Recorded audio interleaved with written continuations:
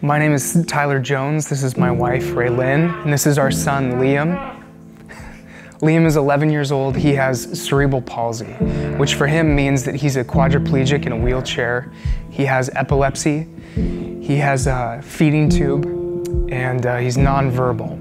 Before the school closures earlier this year, um, Liam was in the general education classroom. For him, that means he needs to have a nurse with him full time, and he would get to be involved in all the classroom activities with his peers and his friends. It's a remarkable thing to see kids uh, become friends with somebody who can't speak to them. They see him for who he is. They see his soul, they see his spirit, and they love him, they know him, they care for him. I truly believe that the people here in the district at the school, they do care about Liam and they want what's best for him, but obviously their hands are tied.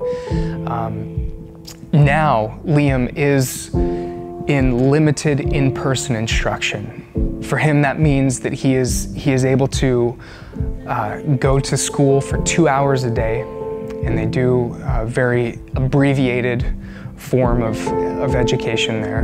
Liam is in a classroom by himself at the school. He is one of the only students at the school. So he is in a room with just a nurse and an educator and they pull up uh, the teacher on Zoom on a screen.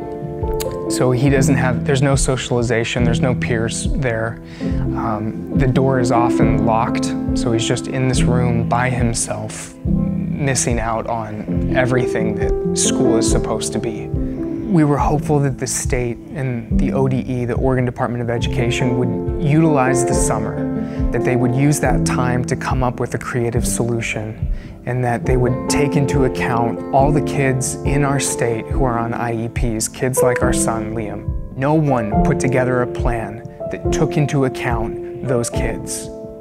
I think that says a lot about our state, and it's disheartening, and it's disappointing, and it's wrong.